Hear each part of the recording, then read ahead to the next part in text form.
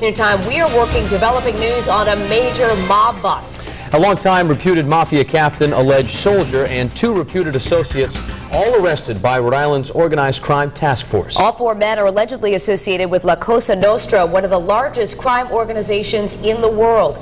Target 12 investigator Tim White broke the story first on WPRI.com. He's live now inside the U.S. Attorney's Office in Providence. Danielle Patrick, this is a significant bust and a significant blow to organized crime here in New England. Uh, in all, four associates or members, reputed associates or members of the New England mob were busted in the last 24 hours. This case, as we're learning right now, is an extension of the one that's pending against the reputed former mob boss, Luigi Baby Shacks Manocchio.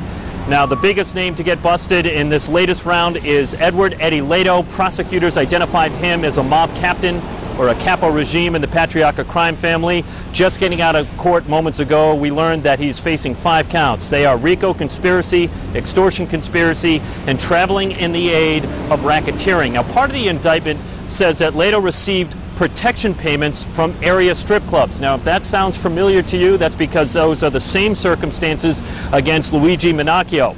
Also charged beside Lato, reputed mob soldier Alfred Chippy Scivola, alleged mob associate Raymond Jenkins, and alleged mob associate Albino Folcarelli. We just learned that Chippy Scivola was just heard up in court and he is being held right now. Now, Lato is also being held pending a detention hearing next week. The other defendants are working their way through the court as we speak. Interestingly, in court, prosecutors said that Lato was spotted by investigators meeting with other members of organized crime in the Massachusetts area in recent days. The U.S. Attorney's Office will hold a press conference at 1.30 this afternoon.